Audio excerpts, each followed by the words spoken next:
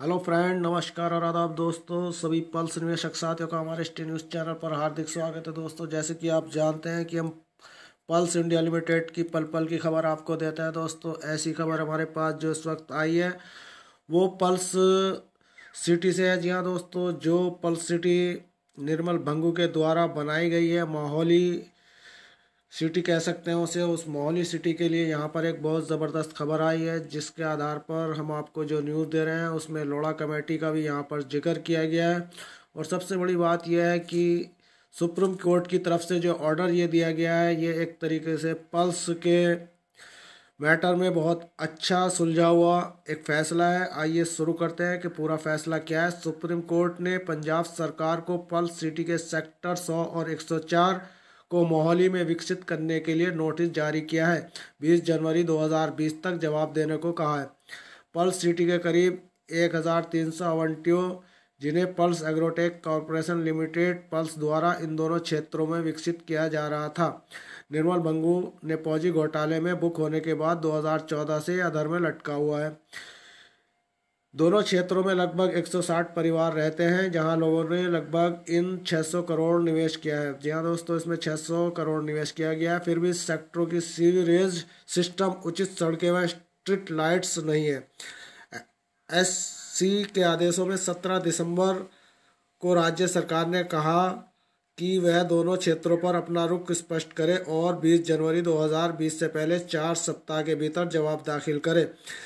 तीस जुलाई 2019 को जारी एक अन्य आदेश में अदालत ने पंजाब सरकार की भूमि पुलिंग योजना के तहत great Mohali area development authority GMDA क्षेत्र के तहत आने वाले प्रोजेक्ट को विकसित करने की संभावना तलाशने के लिए समिति को निर्देश दिया।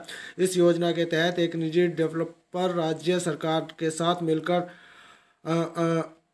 आठ सौ दशमलव बीस लाभ साझाकरण के आधार पर परियोजनाओं को विकसित करने के लिए आयोग कर सकता है।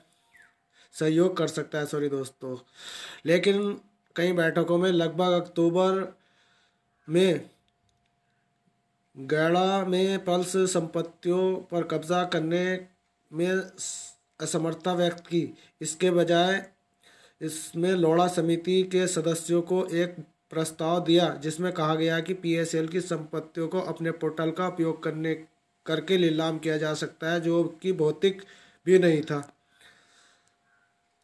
अब एससी ने राज्य सरकार को नोटिस जारी किया है, जिसमें परियोजना में हस्तक्षेप करने के लिए कहा है। Pearl City Mohali residence welfare association के अध्यक्ष कुलदीप कुलबीर सिंह सिद्धू ने कहा कि परियोजनाओं को संभालने के लिए राज्य सरकार की ज़िम्मेदारी थी। कि वह परियोजना में संबंधित सभी स्वीकृतियाँ दे। विभिन्न राशियों में आवंटियों से भारी मात्रा में फ़ीस ली गई है। हम सरकार से आवंटियों के हित में कार्य कराने का अनुरोध करते हैं। या दोस्तों, ये इस मोहाली सिटी के जो अध्यक्ष कुलबीर सिंह हैं, उन्होंने ये एक अपनी तरफ़ से अनुरोध सरकार की तरफ़ किया है। तो दोस्तों, ये बड़ी न्यूज़ आपको स्टे न्यूज़ चैनल से दी जा रही है और आपको बताया जा रहा है कि पल्स की प्रॉपर्टी अभी सभी नहीं बिकी है। ये माहौली का जो इस वक्त माहौल है, इसमें यहाँ पर दर्शाया गया है कि यहाँ पर कुछ क्षेत्रों में इस शहर के लोगों को बसा दिया गया है। लोगों का बहुत बड़ा पैसा लगा हुआ है इसमें, जो कि उचित नहीं है कि इस प्रॉपर्टी को बेचा जाए।